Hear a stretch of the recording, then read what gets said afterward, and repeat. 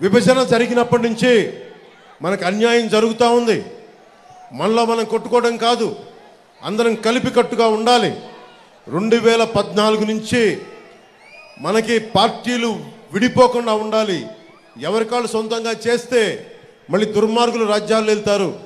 రెండు వేల పద్నాలుగు నుంచి ఆ రోజు నేను ఇక్కడ శ్రమ పడతా ఉన్నాను. దాంట్లో భాగంగానే రెండు వేల పద్నాలుగులో అరివిల్లి రాధాకృష్ణ గారు మొట్టమొదటిసారిగా ఎమ్మెల్యేగా ఎన్నికయ్యారు. ఇది నేను కోరుకుంటుంది మీకు. ప్రభుత్వం చూడండి ఎలా ఉందో. పోలవరం ప్రాజెక్ట్ అయ్యిందని అని అడిగితే ఆ పోలవరం ప్రాజెక్ట్ ఇరిగేషన్ ముఖ్యమంత్రి డ్యాన్సులు చేస్తూ ఉన్నాడు. ఓలమ్మి తిక్కరేగిందా ఒళ్ళంతా తిమ్మిరెక్కిందా అని చెప్పి. ఇలాంటి పాటలకి డ్యాన్స్ ప్రాక్టీస్ చేస్తూ ఉంటాడు. రీహాబిలిటేషన్ ఏమైంది? పునరావాసం కల్పించారా లేదా అంటే అబ్బని తెయ్యని దెబ్బ ఎంత కమ్మగా ఉందరా అబ్బా అని చెప్పి అతను దాని మీద డ్యాన్స్ ప్రాక్టీసులు చేస్తూ ఉంటాడు. మనకి మంత్రులు బూతులు తిట్టేవాళ్ళు ఇక్కడ మంత్రిలాగా దాడులు చేసేవాళ్ళు డ్యాన్సులు చేసేవాళ్ళు వైసీపీ క్యాబినెట్లో ఉన్నారు.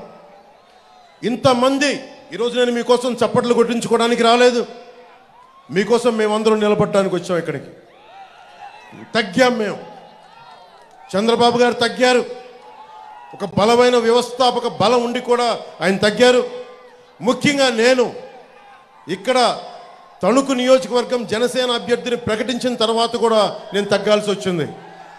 ఎందుకు తగ్గాల్సి వచ్చింది అంటే ఇన్ని స్థానాలు గెలవాలి ఓటు చీలిపోకూడదు దాంట్లో భాగంగా మా అన్నయ్య నాగబాబు గారి సీటు కూడా అనకాపల్లి పార్లమెంటు అభ్యర్థిగా ప్రకటిద్దా ప్రకటించి కూడా మన భారతీయ జనతా పార్టీ కేంద్ర నాయకత్వం అడిగినప్పుడు దాన్ని నేను తీసుకొని మా అన్నయ్య గారికి కూడా క్షమాపణలు చెప్పి పెద్ద మనసుతో అర్థం చేసుకోమని నేను తగ్గాను.